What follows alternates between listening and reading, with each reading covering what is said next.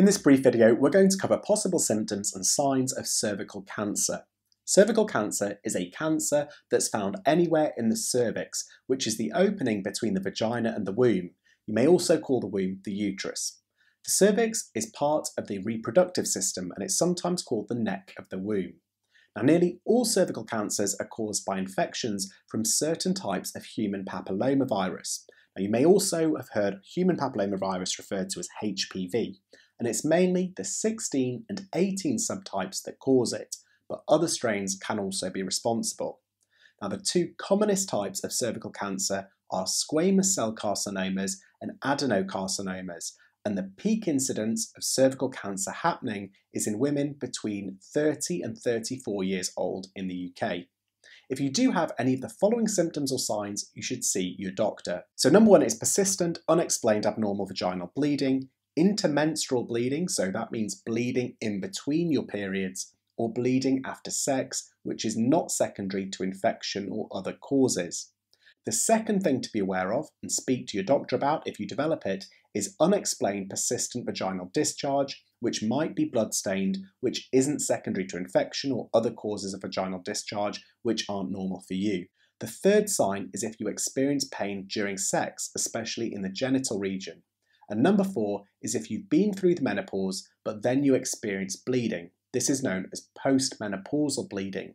Sometimes if you're taking HRT or hormone replacement therapy, some bleeding might be normal but in any case, it's best to speak to your doctor if you do develop postmenopausal bleeding. The fifth one to be aware of is an abnormal appearance of the cervix on examination. However, your health professional should be able to recognise this when you do have a cervical exam. Now, it's important to remember that these symptoms are common and they can be caused by other different conditions. Having them doesn't definitely mean you have cervical cancer, but it's important to get them checked by your doctor.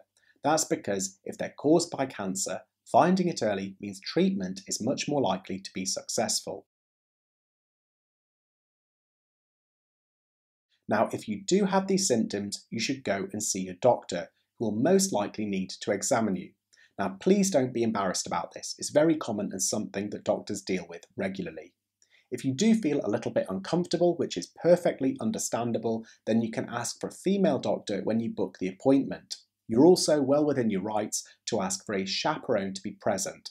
This will usually be another member of staff who's trained to make sure that the exam is being done properly. Now, it's also worth asking if you wish to have a friend or family member present with you during the exam, if that's something that would also make you feel more comfortable.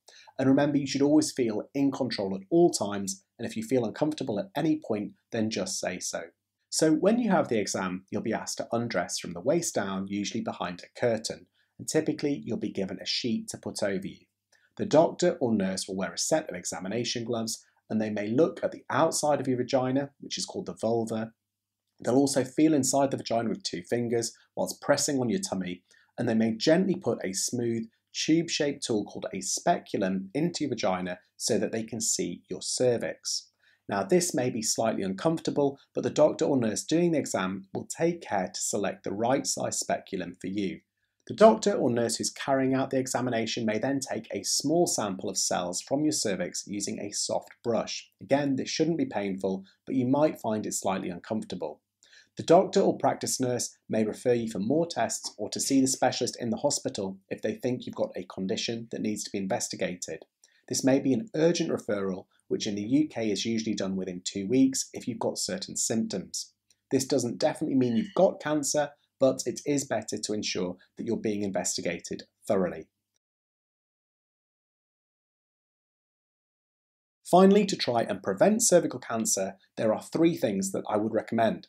Firstly, try to make sure that you stay up to date with your cervical smears. Here in the UK, we have a national cervical screening programme where women aged between 25 and 64 are invited to screening. People aged 25 to 49 get invitations every three years, and those aged 50 to 64 get their invitations every five years. Now, the second way to try and prevent cervical cancer is through participation in the national HPV vaccination programme. Here in the UK, girls and boys that are aged between 12 and 13 are offered the HPV vaccine as part of the NHS vaccination programme. And this is a great vaccine because it helps to protect against cancers caused by HPV. These are not only cervical cancers, but also some mouth and throat cancers, some cancers of the anal and genital areas, and also some genital warts.